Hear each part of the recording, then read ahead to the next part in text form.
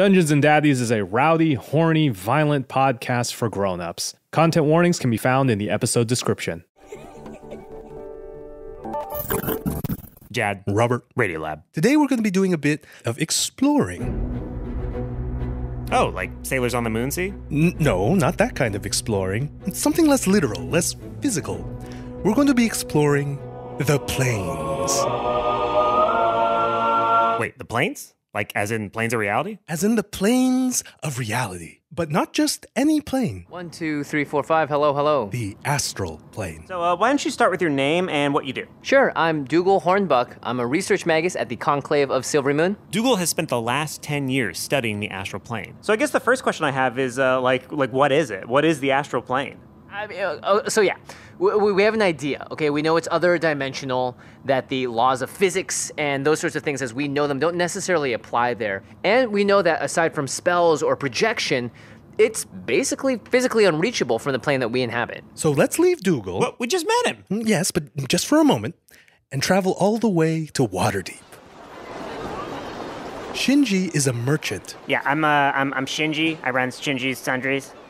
Oh, wow, look at all this stuff. Yeah, yeah. I usually sell it to like weird perverts and stuff, Findom fetish play kind of thing. You may have seen my street team out in the Forgotten Realms. I met Shinji at his shop along the waterfront, and while he sold all kinds of tools and provisions for oh, travelers oh, and careful, you break it, adventurers, you buy it, I you know what I'm really want to ask him about one thing. Tell me about the fanny pack of holding. Yeah, so this is an enchanted bag. This one's meant to go around your waist.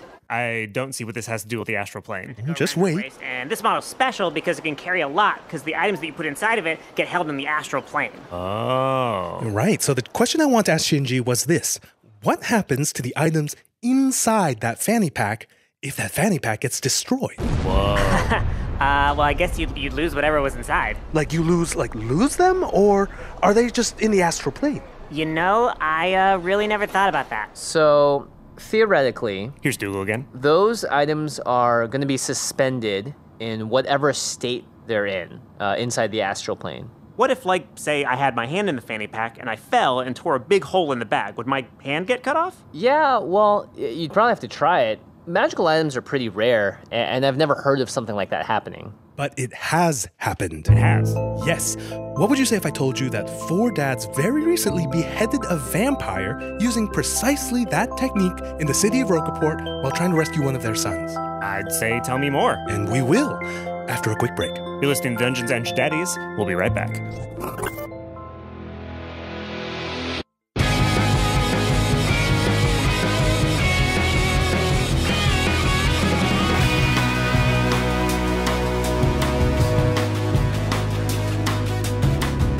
Welcome to Dungeons and Daddies, sometimes a BDSM podcast, a actual play D&D podcast about four dads from our world flung into the Forgotten Realms in a quest to rescue their lost sons. My name is Freddie Wong. I want that with 10 times more Glenn energy. We're coming back from three weeks. It's true. Oh man, hey, what's up, guys? This is Freddie Wong here. I play Glenn Close. I'm a bard. I play Christmas music, and I don't let anyone harsh my vibe. And uh, Glenn's dad fact today is this: if Glenn was still in the real world uh, at this moment in time, you bet your ass that he was on that Storm Area 51 Facebook group within the first 100 group of people. He would be the one sending it to everyone, be like, guys, finally, someone's figured it out. You guys, we're going in. They can't stop all they of can't us, stop man. all of us. I don't know what this Naruto run is, but uh, I'll be there. I don't think we've mentioned it yet on the podcast, but all of this canonically started on the day of the Area 51 invasion. that was we planned 6 months ago that that was going to be when the whole thing kicks off. We Was- planted the meme seed on 4chan and we So- waited for it to flourish. So happy actual canon first day of the podcast. There we go. Hello, I'm Matt Arnold, and I play Darryl Wilson, stay at home coach dad, barbarian in Forgotten Realms. And uh, my dad fact is after the uh, DILF incident, uh, um, Darryl Darryl decided to join CrossFit on Wednesday nights. Oh, whoa. He, however, his first night was not a very enjoyable night. He hurt himself very badly and did not feel welcome in that uh, very kind of uh, macho group. But he was too embarrassed to say that uh, he stopped doing it. And so instead, right next door, there was a square dancing class. so now he does square dancing, but now he's embarrassed. By himself? Well, he, yeah, he goes he goes there by himself. I mean, there's a whole group of people. He's got a whole group of square dancers with him. But now here's two problems. One, it's two hour class, so it's about an hour longer than CrossFit was supposed to be, and it definitely doesn't like like Carol's definitely noticing he is not doing two hours worth of CrossFit every night. So he, Is he still paying for CrossFit? yes, he's paying for They both. got So you on that monthly. He's right? hoping at some point he's going to surprise Carol by taking her square dancing, but then he's also going to have to let loose that he has not been losing weight by going to CrossFit. But hopefully, square dancing is going to do some of that. He's gonna have to. Carol needs to like know this. There's steps to square dancing, aren't there? Yeah, Like so. You can't just Or else you wouldn't need a blind. class. Yeah, yeah. You could just square dance. that's a that's a She'll hell have of a a good time. surprise. She'll have a good. She's, she's gonna have a good time when she shows up. What's up, everyone? I'm Will Campos, and it's been three weeks since a D and D. Oh my god. Was that what you were so proud of coming No, in? that Okay. was not. No, that's just the that's just the appetizer, That's Freddie. Get cheesy. ready. No, it wasn't. Uh, uh, the thing that I really loved was uh, Um, I play Henry Oak. He's a granola crunching, Birkenstock rocking nature dad slash druid. Henry Oak's dad fact this week is that Henry has a retainer. like still has it. Oh my god. Henry wears a retainer. Uh, and so I wanted to, I want to go into the details a little bit. Henry grew up in a commune and didn't really go to the dentist until he was like in his 20s. And then his teeth were really bad and he felt really self-conscious about it. For a while he didn't really do anything about it, but then he decided as, you know, later on in life as an adult to do the braces thing. Finally got the braces off and he's been on that retainer. Now, I should say he had a retainer because the first time he turned into a bear, the retainer was still on and he felt something burst in his mouth and then unfortunately he swallowed. Oh no! Oh my god! Thank you, Beth, for So reacting the way we are all thinking reacting. Henry hasn't quite figured out what happened to the retainer yet and he's kind of getting worried because it hasn't shown up yet. Let's put it that way. Yeah, so Henry's never got the experience of digging through a middle school lunch uh, pin at, at lunchtime trying to find your fucking retainer, huh? It's No, going to he be hard to role play not knowing about this ticking time bomb that's happening because all I can think about now. Hitchcock said surprise is a bomb exploding suddenly. Suspense is someone swallowing a retainer and waiting until it comes out. Henry, like every night after everyone else goes to sleep, like turns into a bear and sneaks off to the woods to try to pass the retainer. Uh, Oh my god. so far, no luck. Holy shit. So that's the energy Henry's bringing. Hey, hi. Hi. Sorry. Hi, my name is Beth May, and I play. Okay, I play Ron Stampler, emotionally detached stepfather slash rogue. My dad fact for Ron this week is a fact that actually Ron only recently learned, and it is that Ron needs to watch his cholesterol. Oh. Yeah, just a little bit too high. Just kind of keep off the bacon. Is he? Does he? What does he do about that? What's his strategy for cholesterol? Well, I mean, Ron is all about making the bacon. So, um, What was his response when he found out? 'Cause I feel like Ron's a pretty like kind of thin dude. Like, was he like surprised? Like, did he just did he not care? What's I think with he'd- that? I think yeah, I think he'd think it was like a really big compliment. Like, oh, is it higher than the other guys? Who has the highest cholesterol? Tell me. I'm Anthony Burch. I'm your daddy master. Uh, Hi, Daddy Master. my dad fact for today is that Streets of Rogue is a good video game that you might like if you play video games. I don't know. I don't have anything daddy specific that happened to me. That actually, I did weirdly get my physical back, and my cholesterol is very high. So Oh no! for the first time, I've related very hard to Ron Stampler.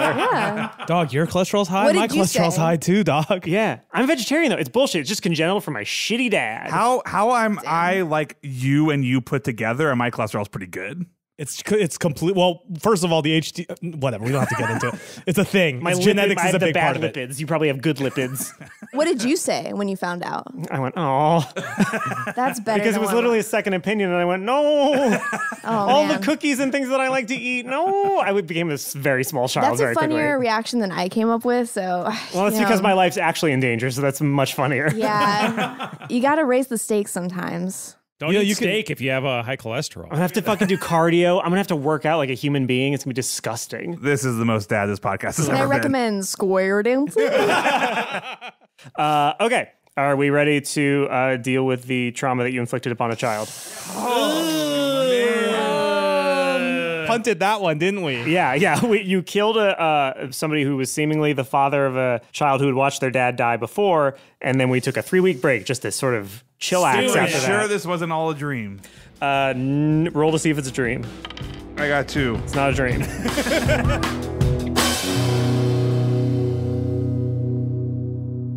After that cliffhanger, I know there's one thing that I was just on the edge of my seat wondering. All right, yeah. Did we level up? We killed a really hard dude. like that's true. got to be a level up, We're right? level nine You, now. you absolutely leveled up. yeah, baby. do we level up now or do we have to wait for a rest? Let's wait for a rest so you don't put off this this Okay. emotional trauma any longer. Okay, okay. Mm. Terry Sr. Uh, ambushed you in your house after Terry Jr. invited him in after Ron attempted to win him over. You successfully shoved Terry Sr.'s head into the bag of holding and then destroyed it, thus decapitating him and sending his head to the astral plane. And as that was happening, Terry Jr., in a performance that was so good it lost us a few listeners, uh, said, said that said that he cannot handle watching this happen again to his dad, and he began to cry. And then uh, Ron, uh, Ron reacted really maturely, right? Yeah. What did you say, Ron? I Ron said, "Who's your daddy now?" is what he said. This must be a reflex, really. really, it's a it's a rhetorical question in the best sense because there's only one answer. uh, so as so, Oh my god. so Terry Jr. looks at you as you say that, and you see the anguish on his face disappear. It, it goes from tragedy to anger in an instant, and then the anger just vanishes from his face, and he's filled with determination, and he starts rummaging through Terry Sr.'s pockets. Henry's stunned. Son, son, are you son? That's okay, son. Just as Henry's going to try to pull him away from the decapitated corpse of his father. Okay, go ahead and roll uh, dexter. Let's say strength with disadvantage. I got a ten. Okay, so that's not going to be enough. Okay. So uh, you begin to pull him away, and uh, he reaches into the coat pocket of uh, what once was Terry Sr. and pulls out a small glass orb. And then he. Uh, son, you should probably you, you gotta put that down. And I, I try Terry? to I try Terry? to I try to grab. Hey, Are you his gonna orb. answer the question? so you try to grab it? Yeah. Okay, go ahead and roll uh, dexterity. That's a six. You try to grab it out of his hand and just whoosh, quickly moves it out of the way. And then you say, You still haven't answered. And he looks you dead in the eye and then points at the headless corpse and he goes, Him. And he smashes the glass orb on the ground. And this vapor seems to rise out of it almost like it had Kids like and their vapes, am I right? This jewel erupts from the ground. he pulls this spherical jewel out. he out. fucking dabs. um, he smashes the orb. This vapor comes out of it and encircles Terry Jr. And then he seems to bind with the mist and become sort of incorporeal. And you see him, you see the mist essentially begin to escape through uh, the open door that uh, Terry. Terry! Sr. came through. Uh, witch lady, can you do something Terry, about wh- this? Come back here, mister. If you don't come back right now, you're grounded. As in, as in, you have to be like a human person that sits on the ground. You can't be a mist. That's what grounding is. So the vapor forms itself into a hand, and then the hand raises its middle finger. And then the uh, Erin O'Neill peeks out from the top floor, hearing uh, the commotion, and she goes like, "No, I'm not gonna. I'm not gonna help. I'm. I'm. I'm good. I'm. I got what I wanted. He's dead. Hell yeah." Well, oh my and god. the, the well the well you see the mist and it flies toward the very top of the black tower that Terry Senior used to be into and goes inside the window at the very top where you initially saw them standing on the balcony. So he's presumably in there. Glenn narrows his eyes and goes, It appears the forces that be will still be having us do this tower I was say, section. I heard a whisper and it said, "You're gonna play Anthony's dungeon design whether you like it or not." Uh, well, at least I still have other Terry, the small bat, on my shoulder. Uh, how long has it been since he summoned him? About a half hour. He vanishes with a little pop. He's gone. Terry's. Darryl puts an arm on uh, Ron's shoulder and it's like, "Look, uh, look, everybody." Looks around. Everybody. I, we did what we had to. He was gonna kill us. Yeah, that was self defense, man. And any court of law will clearly see that that was self defense. It's just important that we all get our story straight and the same, if anyone asks. I don't think that's really. I mean, you said Terry Senior died. Yeah, we just killed the shit out of him. I meant the first time, Ron. Oh yeah, he, In our world, he died. yeah. So look, there's only two options: either we're in heaven, which again we've already talked about, or hell. Or In we gotta kill him again. In which case, we didn't kill him. We just we put him somewhere else, like we're already dead, or we are alive and uh, w- that wasn't Terry Senior. So I think we're okay. Or it was Terry Sr., and we just still have to kill him a couple more times. Ron, I think he's dead. I like to roll perception on the body of Terry Senior. Okay, go ahead. uh, that's a nine. Uh, you can tell that I you gotta search the pockets and stuff. Oh, sure, sure. Uh, so you search the pockets and you come up with uh, 20 gold Hell yeah! Nice. on his I person. noticed that Glenn is looking at the body and only saw about half of what he should have. So I'm also going to roll a perception check. And I get a 16. You find an additional 20 gold. Ooh. You can tell that this person, this body, was basically undead. That whatever form vampires take in this world, he is undead. So your hypothesis is it can be Terry Senior because Terry Senior died in Earthrealm, as you would call it in Mortal Kombat. Um, could not necessarily hold weight. This still could maybe be Terry Senior. Uh, something could have just happened to bring him back from the dead. You're not really sure, but this is he's definitely dead, dead right now at least, or at least the rest of his body is. You don't really know how the decapitation thing works. Let me roll perception to see if there are business cards. Go ahead and roll for a second. I got a 10, plus one, 11. You see a single business card tucked into his coat pocket, and it just says, You're welcome. Strong formatting. I'll just take this. It doesn't seem like we're gonna be able to find anything else from this guy. Give him a couple of kicks with the uh, old toe as a for sort of gesture, and also to make sure he's fully The dead. Old toe. Henry, you, uh, Henry, you okay there, buddy? Henry has turned like a, a sort of like even whiter pale and he's sitting in the corner and like his head seems to be spinning a little bit. Darryl looks and grabs like a looks for like a bowl. Is there like a bowl anywhere around? I, I just uh, Henry just waves him off. I ex- give me a second, guys. And Henry walks into. Is there another room? Is it just outside? Yeah, you can walk outside. Henry walks outside. Wait, Henry, there's, Wait, there's, there's a, a- No, no, no. there's As, a- as he walks outside, you heard the sound of it happening, but now it's confirmed that the little girl vampire that was fighting you guys is just unconscious on the ground. And just as you exit, you can see that the overcast sky that had put a pall over the entire land is beginning to clear. Some of the black fog that had twisted the tree roots is beginning to move away. Life is coming back to the town. Henry checks on the little girl, so she's like breathing. Yeah, she is unconscious but breathing. Okay. Henry takes out his phone, and Henry is going to call Mercedes Oak Garcia. Oh, shit. Okay. Oh, okay. Why don't you roll for your phone? You want to get higher than a two. Seventeen. Okay. Hello? Hi, honey. It's it's Henry. Hey, hey, what's going on? I have something very very important. that I I, I need to tell you, honey. Oh, okay. Mia Moore, Oh, oh, my lioness. my lion, my strong, strong lion. Let me, let, let me go. Let me, let me, let me get out of the. Uh, we're, we're, currently interviewing uh, Noam Chomsky. I gotta get into a, a broom closet or something a little quieter so I can focus on this conversation. okay, I'm sorry to bother you at work. That's fine. Lo siento. Te amo. No, no problem. So th- there's been an incident. Do you remember what? How long has it been since I left this morning? Uh, about four hours. Oh my god. We were on our way to the game and and I'm going to tell you something crazy, but I know that like me, you're a kindred spirit who believes in powers beyond the normal and the natural who who who, who believes in a greater plane of spirituality and so Yeah, I'm just going to ask you to take take this on faith. We've crossed over into another realm.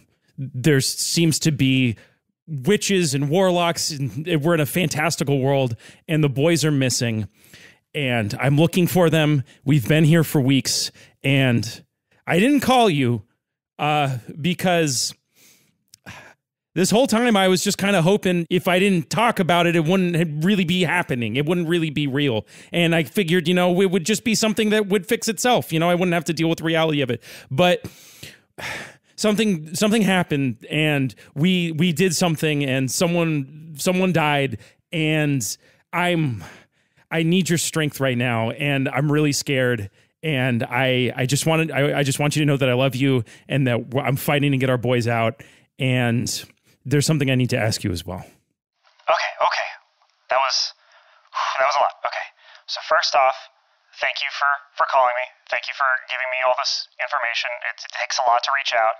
I'm 100%. I'm on your side. I do need to ask: Did you get into Glenn's stash.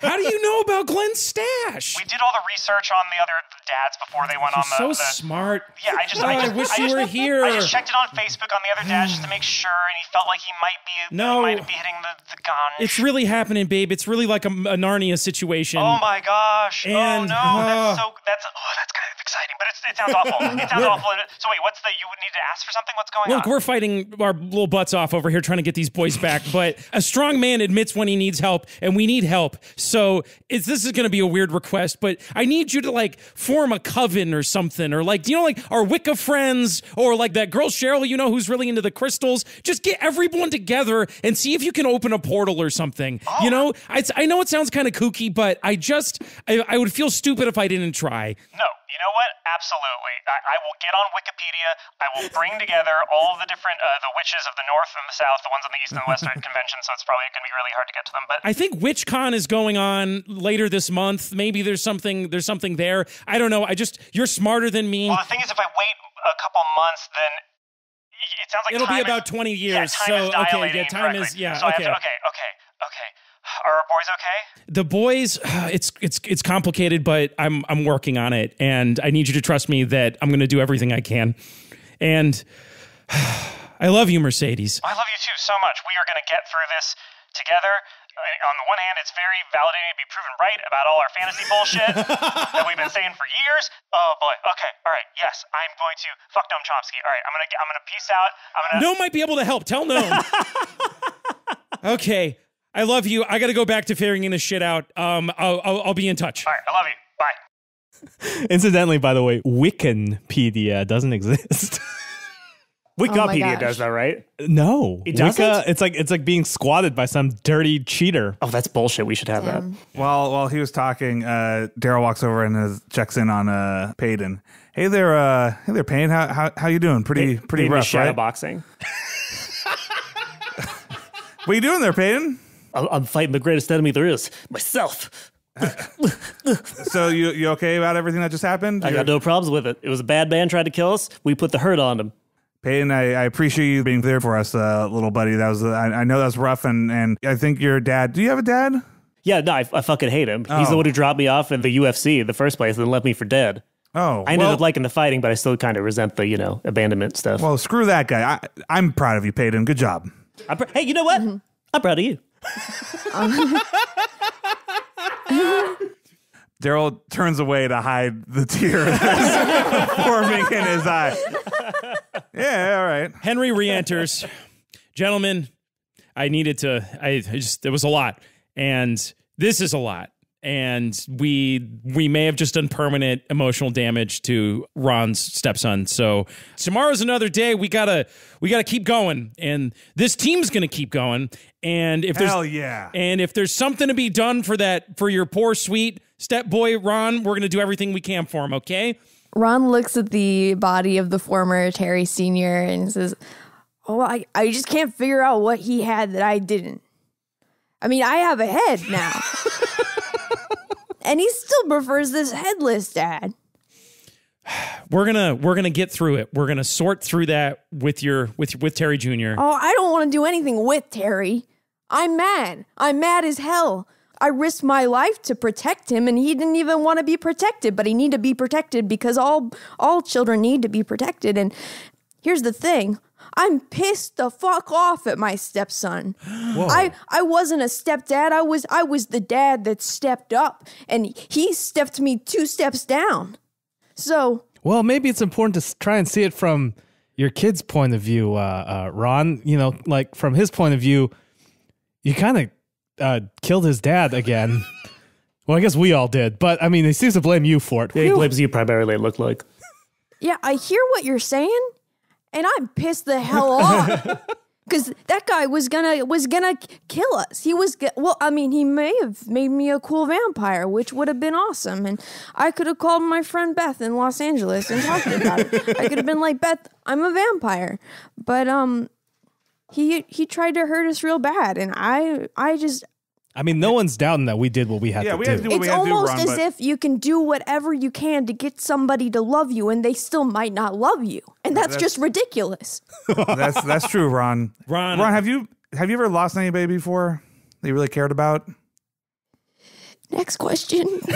What's going with Terry right now? Just remember he he lost his dad and he was going through a lot and you were there for him. Like you said, you stepped up, but whatever happened, whoever this guy actually was, if it was Terry or not, he for a moment felt like he got his dad back. And I don't think you can take everything he just said, you know, don't take it to heart. You know, you're going to have to work on this. It's going to be difficult, but he's going through a lot right now. He just got somebody back that he thought he lost, and now he lost him again. And I agree. Hey, everybody, we, we did what we had to do. We all were going to die. Yes, that was an act of self defense. Again, But- if anyone asks. And we're going to fix this, but, you know, try. He said a lot of hurtful stuff. You, f- frankly, said some more hurtful, a lot more hurtful stuff as well. But I understand you're going through a tough thing too. But just like you are, he is too. And we're going to we're gonna get him back and we're going to fix this. You know, I'll say this, Ron. Sometimes my beautiful boys, Lark and Sparrow, give me what you know I like to call the business. the business, you say? They like to give. I'm a businessman myself. You're a businessman, so I think you'll understand that sometimes they don't want to eat food that's healthier for them than the food they want to eat. Sometimes they want to have, you know, processed meat, and I think that they should, you know, stick to a sort of I soy agree. alternative. I agree. soy alternative. Are we talking about your kids or me here, Henry? they throw a big stink sometimes and they say stuff like i hate you dad and fuck you and you know that really stinks the old butthole and it's really, those tough. wor- those words, huh? and and sometimes i get madder than a whole nest of hornets about it but you know what being a dad sometimes means doing things that your kid is not going to like you know like feeding him you know a, a nice soy burger instead of a beef burger or or killing his biological father again. if he happens to be attacking you and you have to do something in self defense, but the important thing is that it's okay for your kid to feel angry and to not f- and to you know you, got to tr- try to help them express in a healthy way. But they're not going to like everything you do, and part of being a dad is doing what's right for them anyway. And I just Huh. Oh, yeah. Glenn's like furrowing his brow, like, what a weird thing for someone to say. What a dumbass. That's completely against my thing, but I'll keep quiet, I guess. Hippies, right? I'll say one other thing for you, Ron. You you mentioned that sometimes you know you can love and love and love someone, and no matter what th- you do, they don't love you back. Well, sometimes you can love and love and love someone who who isn't good to you, and no matter how bad they are, you still love them. And maybe that's what Oh. Terry has going on with his dad. You know, and that can be really complicated. So I think the important thing is you screw up sometimes, but you power through, you move on from the severed head, and you go re unsever your relationship Yeah. With your stepson. You don't love somebody because they're gonna love you back. Like you love them because you love them, and, Yeah. and that's the way reason you do it. it. Doesn't matter if you've been, you know, if you're it's your son or you've been married for twenty years or whatever it is. I mean, you love somebody because that's that's what you're supposed to do. It's when you almost love Well, them. I, I, I wouldn't, it's not like an obligation, but you know, it's what you want. Yeah, I- that seems kind of like handcuffs. That seems like not fun. It's almost like maybe love is kind of hard. it is like that. I mean, it's only it's always hard, right? It's never it's never I- easy. I'm- uh, But Is that what a it's supposed to be dad's like? got to do what a dad's got a dad. I like. I you know what? love that. You know what? Hands in the middle, everyone. Let's, so confused by okay, sure. let's, And let's this- stop, let's stop this talking. Let's get let's get back in the game, gentlemen. All let's right. let's do this thing. Dad's got to do what dad's dad's got A to gotta dad's dad. got a doodler. What a doodler dad did. Doodler dad did, dude. What the fuck did he just say? Hands in the middle, paid Go him. right. doodlers on three. One, two, Two, three. three, Doodlers. doodlers. What are we doing? What's a doodler? What happened to that kid? That was in the, that was in the van, tearing up your van. Oh, good news. She's out there. She's taking a little nap. It seems like she's okay. It's sunny outside again, guys. It's a beautiful bird. I'd like to suggest we all walk outside. All right. So you all walk outside, and uh, Roll perception. if you want to, Twenty. Wow. I wasted that twenty. So you see What do I see, Daddy Master? what do my daddy eyes witness?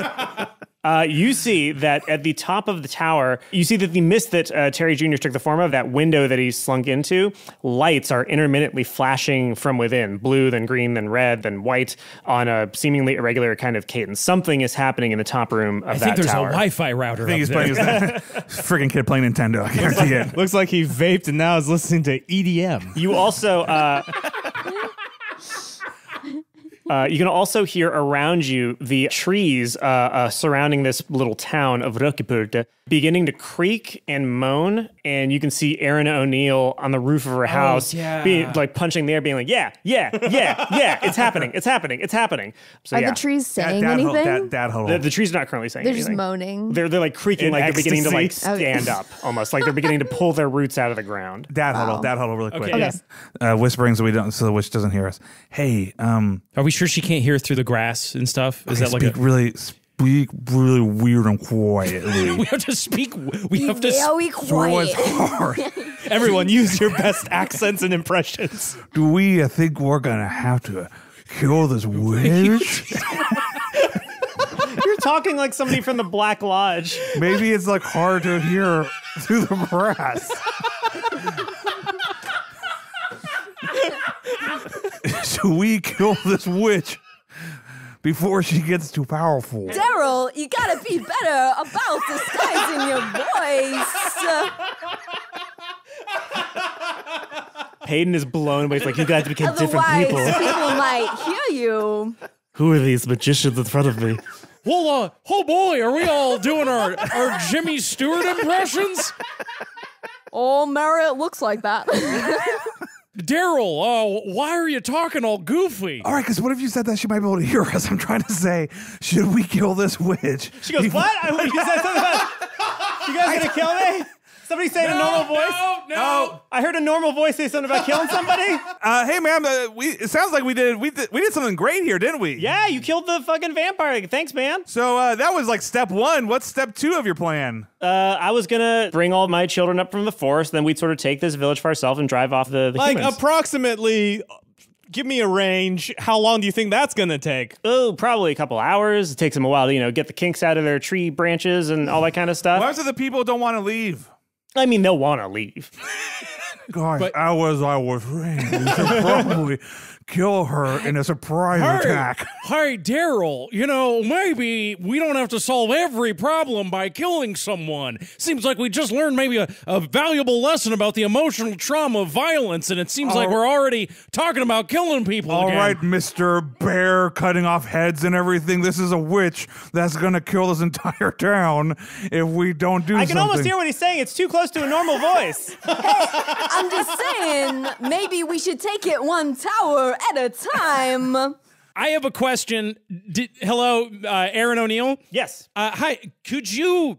Here's here. Here would be my idea. Could you not take over the village? Is that an option? I mean, I guess I could, but they took it from me in the first place. It's Did like, they? I don't remember hearing about This that. belonged to nature, and then they came in and built their little town, and then they attracted the vampires. So it's all their fault that my like babies died. I have a follow up question. yeah. Are you nature? No. Well, then it I'm doesn't just sound with like they took anything from you. Oh, are well? Are you your kid?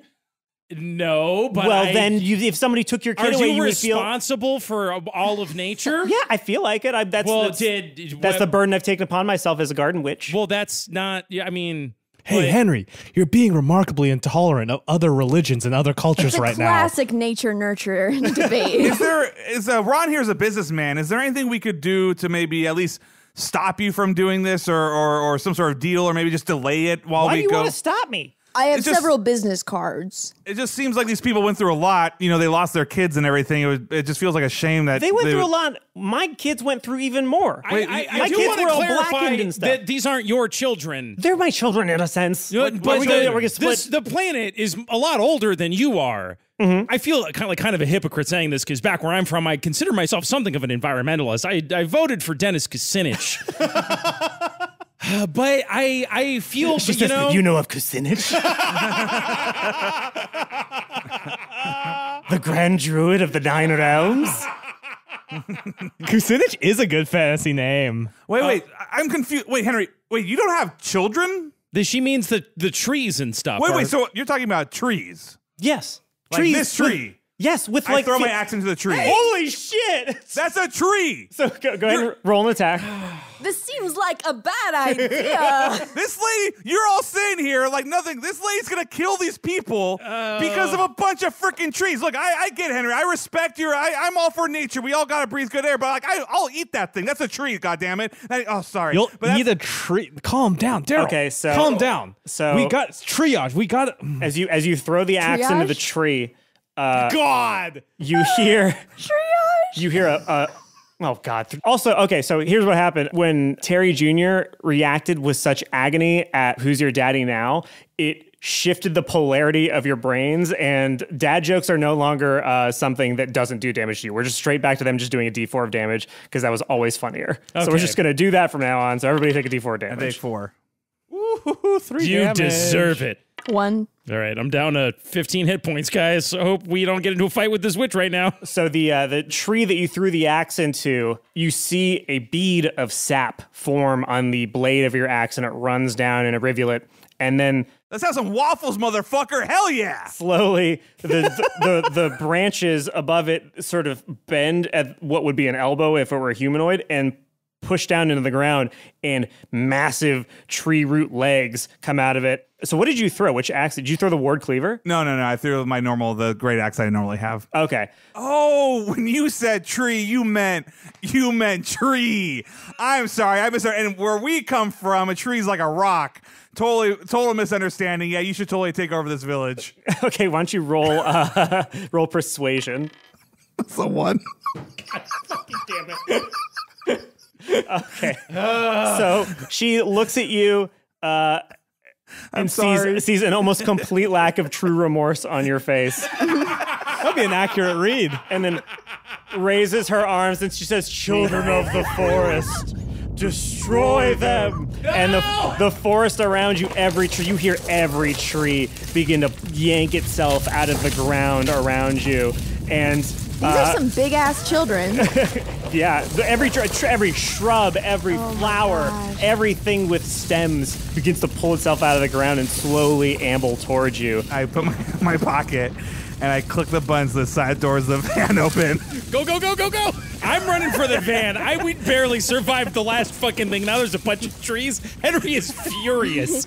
As Ron is running, he says, "Now my my doctor told me to eat uh, less meat, but I I will eat more meat and less less vegetables, less less anything um with a plant in it, less trees." Roll persuasion.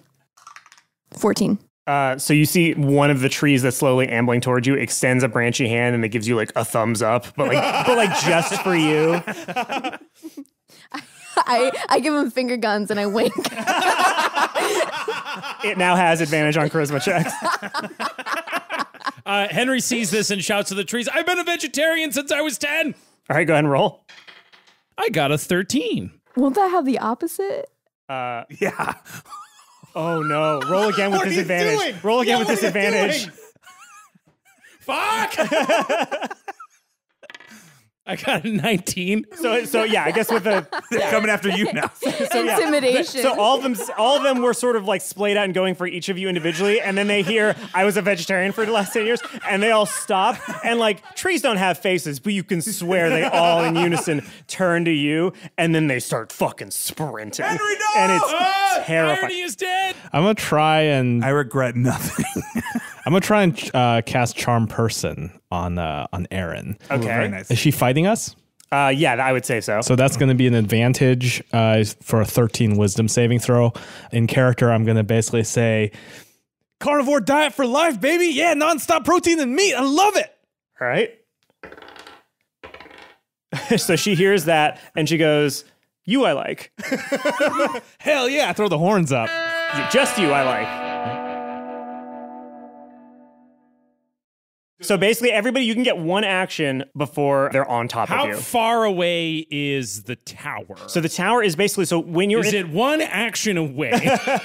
it would be a little bit of a drive to get from here to the tower. So basically, once you're in the van, you can either speed out of the town or you can drive to the tower. But the tower is sort of in a cul-de-sac, so once you drive there, the the trees are going to be basically they'll have boxed you in. Okay, I think we should go for the tower. This vampire's probably got something in there that can help us fight these trees, and then we can stop this forever. If we just speed off, the trees are still going to rip apart the tower. Yeah, and, we gotta save this town. Yeah, we got and Terry. Terry is still up there. Yeah, we got to figure agree. all right. To the tower. Darryl, as he runs, he picks up the girl. Okay. That's his action. If if That's I, great, if I that's have the great. okay, I pick her up and I throw her in the. I well, I throw her into the van. it's like gently. I mean, I, I try not to hurt her, but I put her in the van as quickly as I can and get in the front seat. Yeah, Henry's action is to try to do a Dukes of Hazzard slide across the hood of this minivan Oh, and hop inside. It's got to be a roll. God damn it! Fucking got a two. So you you do this slide, but it ends up more like a Barenaked Ladies one week uh, music video kind of slide, where like you get halfway across and then you kind of just fall off the side, and it looks more embarrassing than if you'd completely face planted. You're just sort of standing in front of the, the hood. It's just humiliating. just just it's just awkward and I, weird. I, I clamber into the minivan. Cool move, Henry. buckle Thanks, up, Ron. buckle up. Roll call, Peyton. Peyton, is here. I feel like I could take one are these trees if you need me to like buy you some Peyton, time. Hold on. So as Erin is charmed by me, she's going to regard me as a friendly acquaintance. So I'm going to watch everybody clamber into the minivan. I'm going to look up and shout at Erin, "Hey, sorry, I left my guitar in there. Can you guys can you just hold off these guys while I just grab my guitar from inside?" They'll let you go through it. That's fine. Yeah, yeah, cool, thanks. All the trees like gesture toward the house with their big branch arms, but they're a still fist- like I hold a fist bump out for one of the like alders, like the smaller alder tree, maybe. So Sorry, fist what? bump. I go for a fist bump for the tree. Oh yeah, they they like nice. Check that one off the old bucket list. that's the sound of a fist bump canonically with a tree. Is So do I? How much time do I have? Do I have a time for one action inside? yes. dude, just trust me here. Give me ten seconds. I'm I'm right. Like, leave the door open. Ah! I turn on the engine and I'm like, I'm like revving dirt back into the faces of the trees.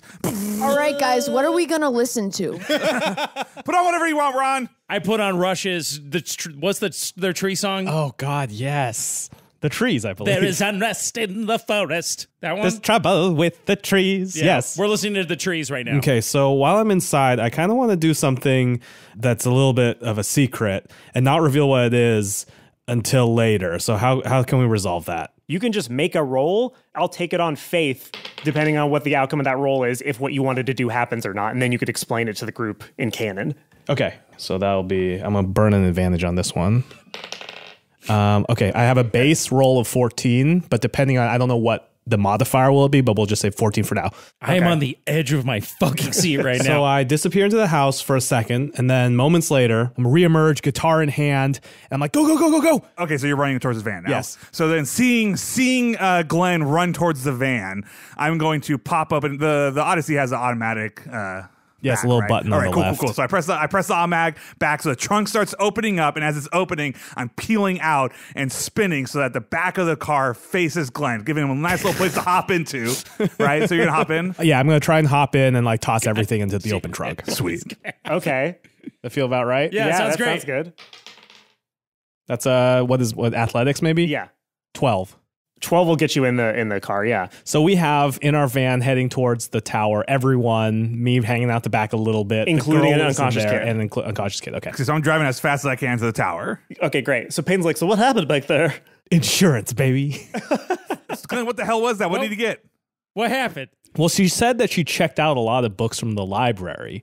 So I wanted to bust in and just steal a book so that the library will take care of her and fix this problem ourselves. Oh, wow. Oh shit! That's really good. Like I wanted to bust in and like good. while I was looking around there, like, you know, grab a book and be like, woo, we out. And, and it's like, hey, this problem like solves itself, guys. so what book do you think you grabbed? Ooh, it would probably be like some. Did you have thi- time to pick? Or did a you just book? pick a random one? I picked a random one. Okay, either. well, you picked a random one, and then I'll tell you what you did. You get you got Grand Druid Kucinich's uh, It should literally just be whatever his book that he wrote was. Oh yeah. Did, oh, did he write a book? I'm sure he yes. wrote a book. I'm sure more than one. Oh, okay. So it's a prayer for the Forgotten Realms by Grand Druid Kucinich. You know, Dennis Kucinich wasn't really what America needed, but he sure was what we need right now. He was the hero we wanted, but dot dot dot. Uh, is anything stopping us from driving full speed to this? Nope. You make it to the uh, the Dark Tower. What's the door Nice. look like? The, TM, do- TM. the door is basically uh, the size of a six foot tall man. Appro- like it's big enough for a tall guy to go through. It's not big enough for like the van to fit through. Okay. I do that power slide again to try to get the Perfectly flush. yeah, try to get perfectly flush. Okay, roll your car driving skill. God, you're gonna wreck your fucking van. So 15. All right, cool. Uh, yeah, no, you, you do you do it perfectly. You Just Man, you practiced that one, huh, Darryl? Yeah, I mean, I got I got 13 on my minivan stats. I mean, What 13 does I got that plus mean, three on my minivan stat. That's that's the score you get when you get the special license you need for a minivan. Oh, like on your test. yeah. I see. There's a game called Dungeons and Dragons where they have point values assigned to things. I thought it might have been an oblique reference to that. No, no, no. I don't play that shit. So the tower is, it, it looks like it's about 20 stories tall, but you can tell from the angle of the windows and the way that they're dotted around the tower uh, as it sort of goes upward that a lot of that is probably just stairs. Um, Just poor use of space. Fucking a lot of bad really architects. of- it's almost as if somebody tried to design a dungeon but didn't want to put that many rooms inside of it. Uh, like a linear stair. Yeah, kind of a linear one way and one way and that's it. Kind of no real exploration. Kind of thought it would be better for an audio podcast because you can't really see the map kind of thing. I'm like, well, I'm gonna get my steps in today. Do you have a map that I, even if it's a straight line, I would like a map. It helps me. Yeah, I could. Yeah, I'll, I'll give you a map. Anthony's raising his middle finger directly at Matt. Straight line. This one goes up and this one goes down. uh, this tower looks like it's sprang up, so just sort of in the center of a forest. Like you can see trees that are there that are just bisected vertically, as if the tower wasn't there, and then just boom, suddenly it was. It doesn't feel like it was built brick by brick; like it just boom, just appeared. Other trees are sort of like trying to wilt away from it. The ones that still have uh, some of the black mist inside of it are, are, are still a little bit gnarled and curly, but you can sense that uh, some of the life is coming back into them. The tower, despite the fact that it no longer has that sort of necrotic fog around it, is still a very intimidating structure. And just looking at it kind of chills you a little bit. What's Uh, it made out of? It is made out of black stone. Like it's almost shiny. It feels smooth to the touch if you Hey, wanted to touch it. Henry, is this uh, obsidian? Golly gee willikers. I do a geology roll. God, loving this rock. Fuck. Uh, wait, I'm going to use inspiration. I cannot, I cannot whip a that roll. You geology You cannot roll. whip a geology roll. what would I add to that? Perception? Oh, uh, yeah, perception. All right, I got a 14. Yeah, 14 lets you know. Yeah, it is definitely obsidian. It's Obsidian. What's Obsidian, Henry? It's a company that makes really great, kind of underrated role playing games. Ah. Finally, I get to share some rock knowledge. I'm so excited someone asked about the rocks. Obsidian is a naturally Is there a little rock knowledge, the- like little theme song maybe underneath this? Yeah. Can we get like a little drum beat? And like a little bit of like a little. Yeah. Rock to rock. Obsidian is a naturally occurring volcanic glass formed as an extrusive igneous rock. You don't have to be an ignoramus to know that obsidian is one cool piece of stone that is produced when felsic lava extrudes from a volcano and cools rapidly with minimal crystal growth. Sounds to me like this tower may have erupted from the mantle of the Forgotten Realms earth crust. Fascinating. Earth crust. And you can definitely see where Henry's knowledge tapered into Will's knowledge at the end of that sentence. Obsidian tower, beautiful brown oak door. Do you want to go in? How long before those trees catch up to us? So the, the trees will catch up to you, and it looks like at the rate that they're going, uh, since they're big, slow, kind of dumb Like trees. the, the camera zooms in on me and I'm doing like the mathematical equations start to show up like the get like the beautiful mind. Pythagorean theorem, E equals MC squared. yeah. Just like math equations have nothing to do with rate of travel, which is all this is. yeah. Uh, it looks like you probably got about 20, 30 minutes till they get here. Uh, Ron would like to try something that he tried uh, a couple episodes ago. I mean, a couple hou- hours ago. So he looks up and he he says, "Rapunzel, Rapunzel, let down your hair." You hear a voice go, fuck you! And you recognize it as the voice of Terry Jr. Terry Junior, Terry Junior, let down your hair. I don't know if your hair has grown out since I saw you. Um, Five minutes ago? Five minutes ago when you killed my dad? yeah, Leave. Just go. Wait, it's this is good. You're starting a dialogue. yeah. We're hey, we're starting a dialogue. You see, and then you hear a lightning bolt shoot out of the window, and then a loud crack that echoes, and no response from Terry Jr. Hey, Terry, could you just come down here? It's easier if you just come down and talk to us like last time rather than us going all the way up there. He does. He just comes down. You don't have to do the tower at all. Maybe he left and he's not here anymore. Maybe he did the mist thing again, but with lightning. Terry, are you still up there? no answer. No answer. Well, I think he's giving you the silent treatment. I've seen this a lot with my boys when they stomp up up to their room Yeah. when they don't want to have their overnight oats for dessert. So we Uh, could Sorry, go sorry, wait, wait, sorry. What? dessert. What? Holy shit. overnight oats, you gotta Yeah. enjoy them. They're a treat. Oh no. I'm compl- Freddie and Glenn are both completely unfamiliar in with the, this. in the Oak household, it's a tradition to have your overnight oats right before you have an overnight sleep. And Freddie, you have overnight seen- oats for dessert. You've seen me buy overnight oats and eat them. Do you know what overnight no, oats are? I don't. I've never. Oh, is that a real thing? I thought you were They're just making up the idea of oats as dessert. Oh, okay, I was, but overnight oats are a real thing. You you get some. Hey, folks, Will Campos and Henry Oak here to tell you about overnight oats. healthy snacks? Overnight oats is like when you put oats and then you soak them in a little milk or some almond milk overnight, and they soak up. It's kind of like cold oatmeal, and then you have like with like a banana and like a little you know some raspberries in the morning. It's really good, It's like healthy rice pudding. Mix some mix some peanut butter in there next time. Why don't you? I can feel my cholesterol lowering already. Yeah, we should get in here. With the, the, the reason I power slid the van was to block the door so nobody else can come in. Anthony is losing his fucking mind right now. I'm looking at bullet, I'm looking at like- a bullet point list of things that'll happen once you get in the fucking tower. All right, all right. Quick dad huddle. Here's here are the two options. You We sack get- of human we can either get into- refuse. or we can get into the tower, or how much we have about 20 minutes to maybe think of a way that we can get Terry Jr. out of the tower. So you're saying What we do you could either dads think we should do? we can either go in the tower or we could not go in the tower. Oh my god. There's a, a storm and a flood comes. I'm just saying, my vote is we should go in the tower. That's why I drove here. Uh, well, I want to make sure we we we check all our options. We could try to light the tower on fire to smoke out Terry Jr. That might kill him. we That's could try all the things we've tried before to avoid um previous gonna- but one at a things. time and rolling for each. I want to poke the unconscious girl in the car and see if she wakes up. Hey, hey, wake up. Get in the tower. Hey, uh, first of all, how are you doing? Are you okay? oh, yeah, no, I'm. Oh, God. Oh, I'm fine. Oh, the light's really bright. Oh, your neck has a gnarly scar. Oh, God. Oh. No, it's like cool looking though. Oh, okay, cool, cool, cool. What's I your guess. name, little girl? She says, My name's Clementine Krimbatinik. And that was sent to us by Valerie Wagner. Thank Very you so much. good name. Did I die? Am I dead? I think. And she's feeling for her pulse. And she's like, Actually, Okay, not so sure. I think I'm alive. And she holds out her hand for one of you to like check her pulse. I give her a high, High five. five. Hey, Darryl Wilson, nice to meet you. I put my hand over a handshake. so, so you just grab her hand and start shaking two, it. two men high five her hand, and then another clamps over their hands with a handshake. is what like- just happened. She's like, So I am dead. This doesn't make any sense. this is hell. This I, is very deserve weird. This. With a handshake this week, you might as well be dead, little girl.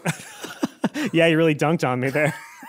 So, can you tell us a little bit about what happened to you? Oh God! The French guy came into town and he sang, and a bunch of us came to his tower, and I kind of don't remember anything. But the pain on my neck makes me think that he definitely turned me into a vampire or something. I turned. Was I a vampire? I was a vampire. Yeah, you were a vampire. You were a ah, hella vampire. Fuck! Did I kill anybody? Unknown. Um, Unknown. Yeah, no idea. You tried to kill us.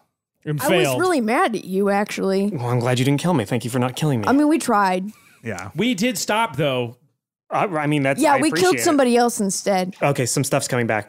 Uh, the other kids, the other kids he took. That oh, if- how many if- other kids are there? There was like five or six of them, but he also had a bunch of them as like his guards and stuff like that. The ones that I was with, they might still be waking up. They might still be in the basement. We should probably go get them. Oh my gosh, there's a, in the basement of the tower. Yeah, I guess. Okay, what else can you tell us about this tower? Do you remember anything? That the front door's fucking unlocked. little girl, you don't need to use that language with us. Uh, so, so the, the tower, as far as I can remember, like the French guy, like lived on the upper floor, and God, it, it felt horrible. He would always like when he sucked from our necks. It didn't feel like he was taking just blood. It felt like he was taking like something more that I can't really put my finger on. Bone marrow or Like white blood cells. no, like something from my like mind, something that you might find out if you went inside the tower. Good tower. manners, the way you're talking. Yeah, no, well, I I'm sorry if I feel crusty after waking up after I've, having almost killed people with two big holes in my neck that apparently look badass, but I can't tell because I don't have a mirror. Oh, these work for you now. And I pull down the little side mirror thing, you know. She goes, "Oh, cool." okay, well, we're gonna go in there. I can understand how it might be kind of scary for you to go back in there, considering all the bad stuff that yeah, I mean, I prefer not to. okay, there are a bunch of killer trees outside, so it Oh, might, might be safer in there. Yeah, never the mind. only- I'm coming with you. Never All mind. right, well, let's, Let's do go this. inside. Let's do, hey, two adults in front, The kids in the middle, two adults behind. That sounds great. Peyton hears that and immediately goes to the behind. He's like, yeah, it's a good plan. Ron hears that and immediately goes to the middle. Darryl looks and nods like that's probably right. Good enough. Let's go. so you enter the tower. God, what do you call the room when you like enter a fucking house? It's A like foyer? is it foyer or foyer? I've never It's known that. foyer. Uh, nope. Is it not? It is a foyer. It's a Uh, Maybe lobby in room. Rockefort. Uh, Yeah, so you enter, true. you enter the foyer. You see a bat perched on top of a tapestry depicting Terry Senior, and it opens its mouth, and without its like lips or its jaw moving, you hear the voice of Terry Senior come out, and you hear it say, uh, "Eh, "Welcome to the foyer of my home, Little Borat. my wife." So Terry Senior like recorded his voice into a bat As a You hear- greeting. so the, As the a bat with its mouth still open goes, This is one of my many mocking bats. I've recorded information to pass on to any visitors who might wish to enter. Ron doesn't like it, but he sure as hell respects it. Do these bats respond to our questions? Like Alexa. You, you asking uh, Terry Jr. this? No, Terry Senior. I'm talking to the bat. Oh, You, oh. it works. So- it- so- so you the gotta, with- you gotta say, "Hey Terry." Hey Terry. So the bat with its mouth still open, you hear the voice go, Do not try to communicate with the bats. These have been pre recorded things I've said into their mouths, which they only have the power to repeat word for word by opening their own larynxes for my ah. beautiful voice. Environmental storytelling through audio logs. This truly is an obsidian tower. Oh, God damn it. Everybody take a d4 fucking damage. That's really good, though. Holy shit, that's really good. Oh, one. Four damage. You're gonna kill me. One. That's great. hey, Terry. Fuck you. Thank you so much for coming into my home. You've clearly been invited because otherwise you'd be dead. He's slowly turning Italian. into Mario. Oh, yeah. Thank you so much for playing my game. All right. Does all the intro look like that? This is in my head right now, just a Black Obsidian version of the Mario Tower from Mario 64. Yeah, pretty much exactly. It's a big old staircase. Yeah, it's, it's the fucking the like the eternal one that goes Oh, up. the Like big it's like a straight shot up to the right of just this staircase that it doesn't even make Euclidean sense. It feels like it's going straight in one direction, like not curving around a tower to your right and to your left. You can see uh, Big candle- painting of a babam. uh, you can see candlesticks mounted on the wall going downward, presumably into some sort of uh, basement as that gets darker and darker as it curves around the tower. Hey, fellow dads. Uh, it's I don't know about you, but I'm feeling pretty like uh 14 out of 45 HP right now. Hey, this is Matt talking instead of Darryl. What's all of our HP? I have a. You know, I can. I can cast some spells.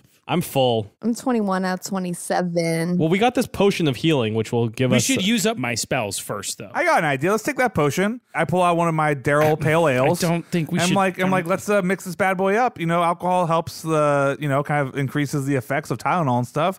Probably tastes okay. We can all take a sip of I this. I don't. Okay, you're not supposed to mix alcohol with Tylenol. No, I know. It's dangerous because you could feel too good.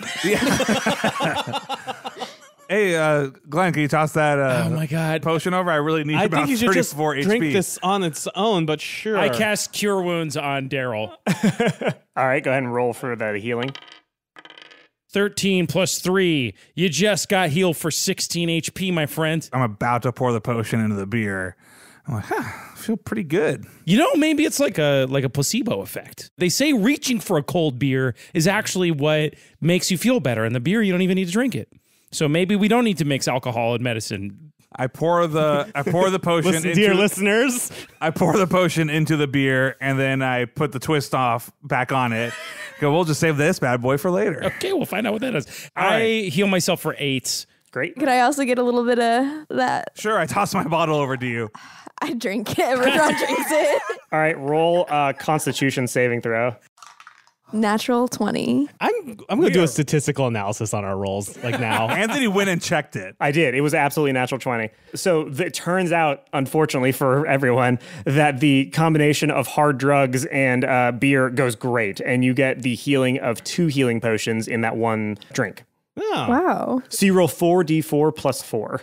It'll probably heal you all the way up, considering you only had six Yeah. you were losing, right? Yeah, Do actually, get no matter what, you will, Yeah. you will fully heal. Okay, cool. All right, that was All some quality D and D action right there. Good stuff. So I do think uh, we should take Clementine's advice and check out the basement and see if there are any more kids down yes, there. absolutely. Should we? We've been pretty, um, I would say, loose with uh, how how much we should let the kids be involved in what's been going on. That's a so good do you point. think we should bring you know, our little buddy over there. And Well, I don't want to leave them alone in the tower. Well, if there are kids trapped in the basement, then we could trap those kids down there too, and then just hold them all there. I mean, they could be safe down there. Yeah. Let's go down and find out. But before we enter any room, I think the adults should look to see if it's PG or maybe PG 13 before letting the kids look. Okay. So, Peyton and Clementine, you guys hang out back here, okay? Okay. You head downstairs. Basically, you're in a basement and you see three things simultaneously, all of equal importance. First, on your right, you see that half of the room has basically been bisected and uh, half of it is just a jail, essentially, with these cell bars uh, separating you from the inmates. And within the holding cell, there are six unconscious kids with bite marks on their necks.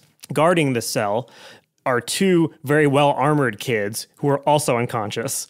And across from them, on the opposite side of the room, are three treasure chests with a pool of blood that sort of uh, is is smeared all around and in front of them. Yeah, let's not let's not touch that. That seems kind of gross. To touch the treasure chests? Yeah, no, you thank you. Are they like explodey treasure chests, do you think? Glenn's just not a fan of bodily fluids on stuff. He's not going to just wade in there. And we should open up the Let's treasure open. chest Let's at some wake. point. Let's let's wake up these kids first and foremost. but wait, some of them look pretty armed, and the other ones Well, look let's pretty. take their weapons. Let's kick their weapons away, Good like in a cool cop movie. Good idea. D- Darryl goes to start disarming Cool disarming cop movie kids. about arresting kids. Make sure they don't have an ankle sword. uh, Darryl goes and starts disarming the kids. So as you do so, they begin to wake up, and you quickly realize like this is not going to be an issue because the kids are like, "Mom, Dad, oh my God, what's going on?" And they're feeling their necks, and they're all freaking out. And then the kids within the cells begin to wake up, and they're freaking out too. And uh, Clementine looks at them and is like, "Oh, we're, we're fine. I think I think they killed I think they killed the French guy." And they're like, "Yay!" Like all of them are pretty psyched about it. That was me, actually. Ron Stampler. Ron, we all Ron did it. Stampler, Ron, Ron, Ron, We- Ron. We- that's right. Ron and all of his friends, uh, we all worked together and, and did it. This is Henry. My name's Darryl Wilson, everybody. I st- towards the closest can put my hand out. Nice to meet you. I'm shaking my. I'm shaking my head. We gotta read the room, man. The, the kid still going, Ron, Ron, Ron. High fives your hand. All right, and this is uh, this is Glenn. Uh, hey, how do you get you kids out of here? one of the kids with the armor on him has a key ring on his belt and he goes like oh i think probably one of the and then he just opens up the prison Hey, toss me that keyring, bud. uh, he does Nice. I catch it and I'm looking. I'm like, how many keys are on this thing? Do we have a lot of doors that are locked, or does this appear to be the only thing on it? there's basically two keys on it one that unlock the jail door and the other one that you can't tell what it unlocks yet All right. What's the deal with these uh, treasure chest things? so one of the kids the armor kid was like i got this stuff that i was wearing from one of them i don't remember which i think it was a it's like a what do you call a trap there's like a trap involved Do you know where that blood came from? Probably uh, somebody trying to come in here and like free. There were other people that came in and tried to free us. Oh no, one was my dad. Yeah, some of our parents tried to come in here for my dad. And it like slowly like dawns on him. But like, yeah, they kind of came in and they I'm not sure how, but they died. Side note, we're gonna start like a support group for all these kids, you know, before we leave. I think we should do that. Yeah, it feels like the least a we could do. foundation. a foundation. How do we roll to like see if we can tell what the trap is? Like roll Um, perception. You can roll or- perception. What's a trap, everybody? Because I rolled a two. Trap is a kind of music, Darryl. It's Oh, okay. played in a lot of clubs. It's sort of a dance music genre. What, what does that term come from? Trap. Uh, what does it come from? Actually, I don't know. It- It's a name for the house where they like a. It's a dance club where they sell drugs. Oh, it's like a, it's like a trap house. It's a place where you know you can get uh, drugs and stuff, and you know I guess they also play music. For everybody who thinks that I'm not as cool as Freddie, he did not know what trap was. no one thinks either of you are cool right now.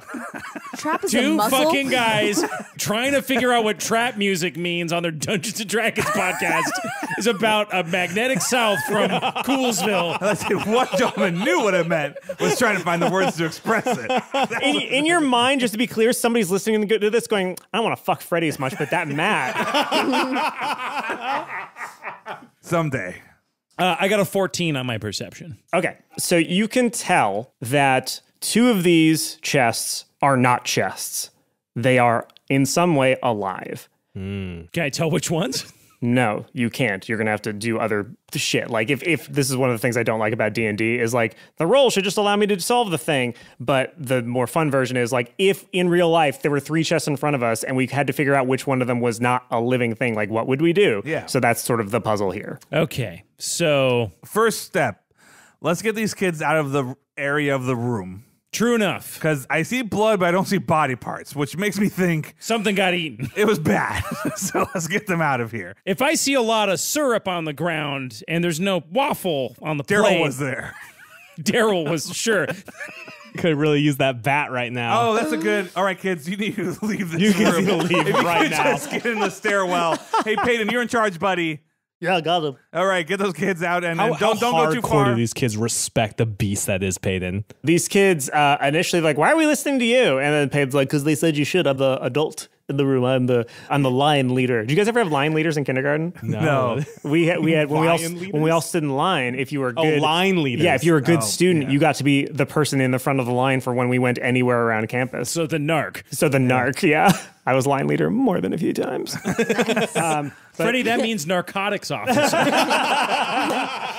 which are usually not welcome at a track. A lot of people were like, "Ooh, I want to fuck Matt," but then they heard that Anthony was a line leader.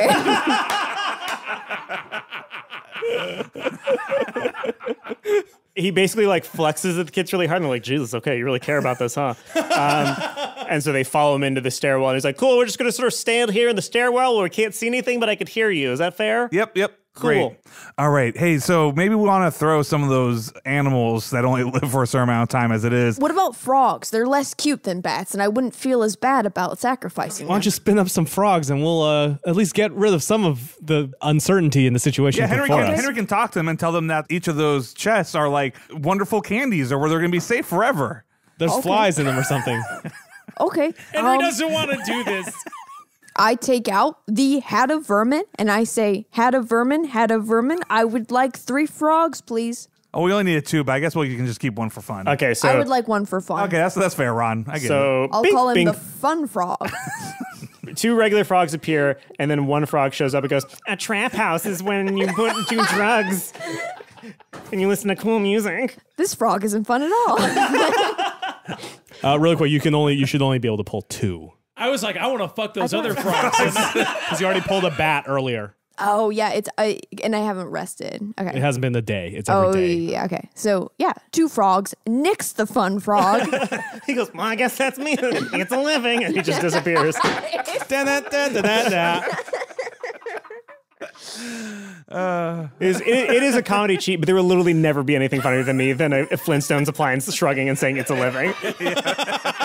Everything we did in comedy after that joke was a waste of fucking time. oh, you mean like the pterodactyl that lives Yeah. in their sink and eats their garbage? It's a living. Like that's literally the funniest thing that comedy has ever invented. Uh, Uh, so hey, Oh man. All right, throw, let's throw check- these fucking frogs at these. yeah, let's check. Why are you guys looking at me to do it? I'm not going to do it. I'm a Oh, that's fair. You vegetarian. just have to- I pick up one of the frogs and I chuck it at the leftmost. Uh, roll, roll attack.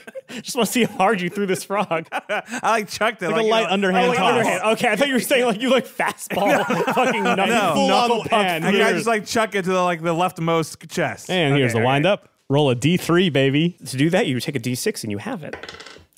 Okay, I want to fuck you, Anthony.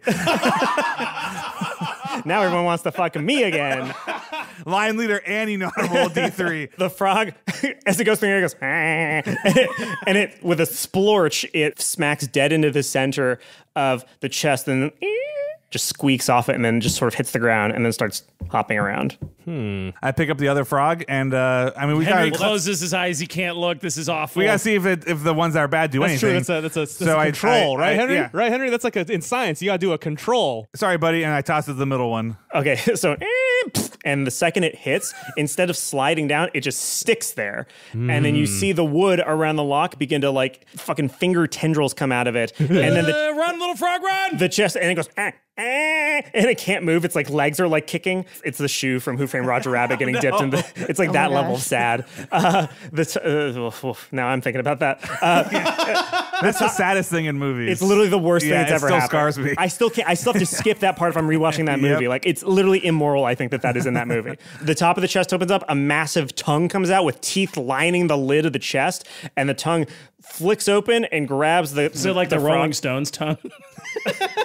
Sure, sure. It's That's like all. I'm picturing is that big Rolling Stones Feed tongue. me, Seymour. It's like that. the Rolling Stones tongue comes out, licks the frog into it, and drags it inside, and then there's a crunch, A little bit of blood squirts out of the top Oh, of the, the chest, and it slams shut. The frog that hit the leftmost one has a hop back towards us. No, it was busy watching the other one get eaten, and its eyes are very big. All right. I think we It's know like which one the normal one is. I think we can confidently say that that's probably the treasure chest that doesn't eat the frog since That's it fair. didn't eat the frog. Darryl walks towards the leftmost treasure chest and uh, tries to open it. So you open it. It is a normal ass treasure chest, and within it, you see. Does Daryl watch professional wrestling? Absolutely. So Darryl Darryl immediately recognizes what's inside as a professional wrestling championship belt that doesn't have a specific logo attached to it, but it is an item created by Adam Soma, uh, and it is called the belt. It is a replica wrestling championship that grants a dad advantage on persuasion or intimidation, but only if you phrase your attempt as a classic wrestling promo. Daryl reaches down, picks it up, and holds it up over his head and turns and he's smiling like a 10 year old kid. He's like, Oh my God, look what was in here. What is that? Henry's never seen professional wrestling. unless- You don't know what this is? I it seems to be some sort of fashionable belt. It doesn't look very It's practical. It's a wrestling belt. It's going to be the thing that makes Matt study for the next two weeks wrestling phrases so he can know what he's talking about. Because Matt does not watch wrestling. All right. Well, that was worth the traumatic death of a frog, I guess. Um, Let's get back upstairs, guys. Wait, Is that it? Glenn, don't you? Th- this is a belt. There's nobody. What does it do? It looks like a cool. I mean, So yeah, I mean, cool you can belt, roll, roll intimidation with advantage. Why aren't you thinking this belt's awesome, everybody? It's a 15. I think that'll do it just for a casual intimidation. So everybody hearing that is like, all of a sudden, Darryl seems much more masculine and intimidating than he did before. Whoa, whoa, that's a good belt. that was for- really intense. Did they, was that the belt? Yeah, and- no. Huh. I put it on. Doesn't Is it really. cool if I have this, guys? Yeah, go You for it. go ahead. You just have a wrestling belt on every My fuck- polo shirt. polo shirt and then a wrestling belt and then some Wrestling fucking belt. cargo pants. yeah, then a wrestling belt. Uh, yeah, it doesn't appear to be doing anything vis-a-vis holding up your pants, but oh, it's Oh, one pretty sec. cool. I take off the wrestling belt and then I take off my normal belt because it feels stupid to have two belts on. Good point. And then I put the wrestling belt on. But now the pants are definitely kind of slightly like it's not really doing the job of a belt, but he's not gonna let anybody know that. But definitely Darryl's constantly kind of holding his pants up from now on.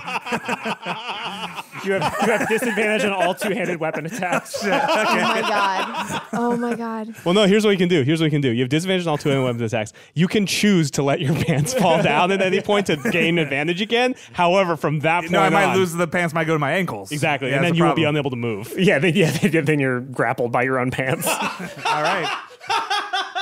Darryl just Ron like wonders op- when he can get a belt of his very own. It it is not the only belt that was offered by our fan base and our, our big list of suggestions, which you can add to if you're a Patreon subscriber. Darryl just runs to the door. Peyton, check out the belt. Peyton's like, oh, that's so fucking sick. That's what I would have won if I'd won any of my fights in the UFC. You want to try it on, buddy? I take it off. I, th- I throw it at Peyton. He wears it and he goes, oh yeah, and he like points at little kids. He's like, look at me, look at me, and tell me I'm intimidating. And they're like, Jesus Christ, yes, oh my God, you're so intimidating. Ah, and he goes, ah, like, I'm never giving this bird. Darryl walks back and he puts on his normal belt. I think I think you should wear that, Peyton. Peyton's like, no, I mean, it's, I gotta earn it. Anybody who watches professional wrestling knows it's all about the chase. It's not about getting it. So you should, you should have it. Then he takes it off and he goes, I know I'm intimidated. The real intimidation is inside me all along. Hell yeah, Payne. I take my belt off. I was like, yo, you can have this one. I chuck him my belt. He's like, I don't really want that one. no, put it on, buddy. Your pants are your pants seem a little loose. Yeah, this gigantic Yeah, man-sized. he puts belt it around, and there are not enough holes for. It's like the holes are all on the end. It, Hey, it what just you got the knife for, man? Put a hole in there. Okay, sure. So it like wraps around him like twice. Are we really going to sit here and say that Darryl's belt isn't one of those dad belts that's like the braided leather that you don't need the hole in? Do you know what I mean? oh shit, that is. Oh, yeah, that's very good. Okay, true. Let's wreck on that. No, because like I, I would wear, he would wear like a church belt, like a straight. In fact, it's probably reversible. it's brown on one side and black on the other. I, I forgot long ago that they even sell non-reversible belts. So we were here for something. Oh, we Terry. save Terry. Let's do this. Yeah, let's head back Okay, upstairs. so you head back upstairs, past all the kids. Paige's like, "What do I? What do I do with them? Are we cool? we good? Should we keep following you guys or?" Why don't you guys hang out down here in the lobby? I don't know that we want to be responsible for traumatizing even more children today. No. Okay. All right, kiddos. Well, Peyton here will take uh, care of you, and uh, uh, we'll be right back. Hopefully, with another kiddo. So should we go downstairs? I'm gonna go, I'm gonna head downstairs. Ooh, three chests! Hell yeah! No, no, no, no, Don't wait. What? Don't do it. no, no, What? don't go downstairs. All right. And those chests are very, very bad. They Those will kill chests you. will eat you, so don't. Yeah. And they're really boring to fight, so don't fight them. All right, well now you got me. Now I'm not. All right. You were definitely going to hear the sound of me fighting a chest if you hadn't said something about them being boring. So so good on you. Okay. Peyton, you're in charge. If something goes south, something feels like it's going off, take the kids and uh, just get a safe distance away from here, all right, man? All right, just run, or do you want me to like get in the van and what? Like, Get in the van and drive. No, no, no, no, no, no. Leave the van for us. You guys get out of here. Go on foot. You guys are going to allow a bunch of I kids? tossed him my keys. What? Peyton catches. He's like, hell yeah. Peyton's not going to drive without us. He's not like somebody, Glenn. I'm going to stay here until. You, Oh, damn. Oh, damn. I'll, I'll, I'll, I'll stay until you tell me to leave. Until I hear you yell Peyton Floret, I will stay here with you guys. Perfect. If something goes wrong, um, tell our story. and make me sound really, really cool. those are mutually exclusive. You're, you guys are talking, and you begin to notice that your voices are echoing through the halls of this tower, and you can hear them echoing upwards. And you hear Terry Jr.'s voice boom down, and he goes, God damn it, I told you to leave. I told you to just leave me alone. All I want to do is get to the goddamn astral plane so I can be with my fucking dad, and I will open this portal if it kills you and every single other person in this town. Now get the fuck out! I'm not leaving, mister. Even if you don't like it, I'm here to, to, to save you. So the tower begins to shake around you, and between all of you, you can see a tear open up in the fabric of reality. Oh, and shit. through Whoa, it, what? for a brief second, you see like, oh my god, this is what we saw when we split the fanny pack of holding in half. And the tear, just as soon as it opened, seals back up, and you hear Terry Jr.'s voice from above echo down, saying, "It's working! It's working! I'm gonna see my fucking dad again, and nobody, especially not my stupid goddamn stepdad Ron, is gonna stop me!"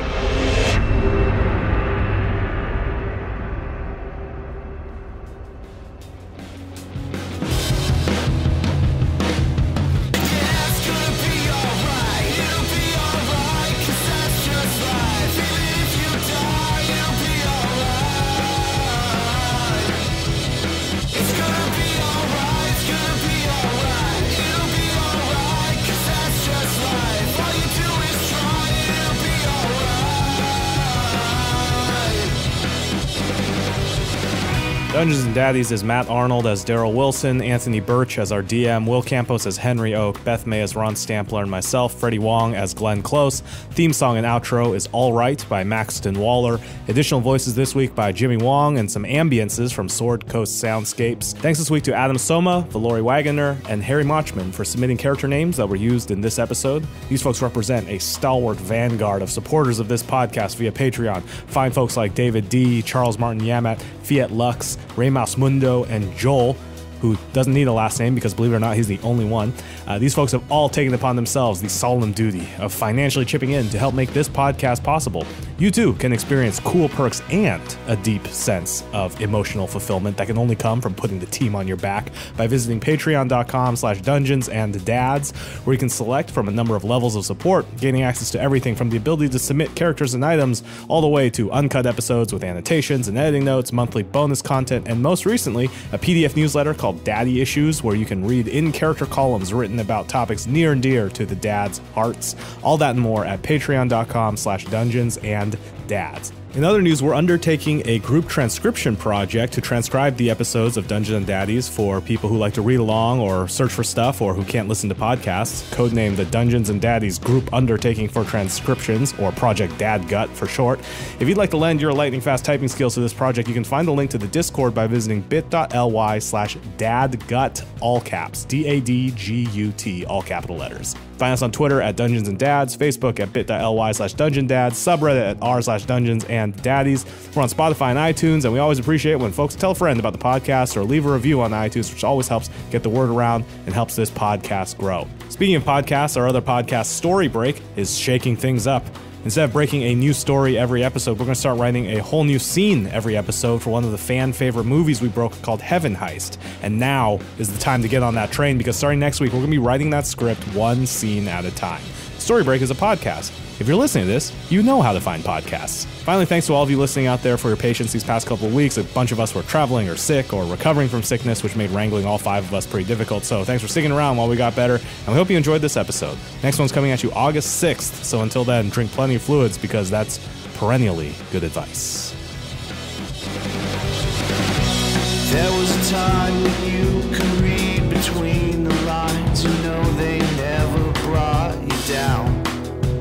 Never brought you down. Just give me like five of those, and then just Freddie layer them in. Oh, yeah, underneath. yeah, yeah, yeah, yeah. Rocks rock. Rocks rock. Rocks fucking rock. Rocks rock. Rocks rock. Okay, now Freddie, don't do any of the layering. Just, just play those back to back. That's the thing.